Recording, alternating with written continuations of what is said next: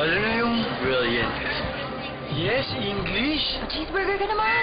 Yes, eh, kahit anong dahilan na lang, basta maaraw-araw lang ang ultimate cheeseburgers ng McDo. Scrumptious. Oh, sorry.